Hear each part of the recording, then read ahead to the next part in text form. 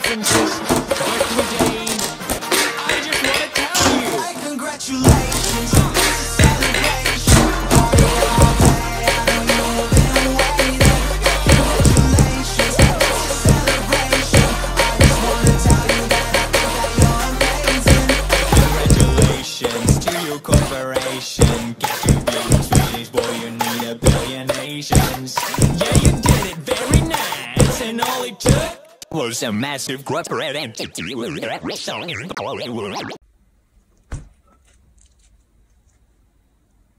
For legal reasons, that's a joke.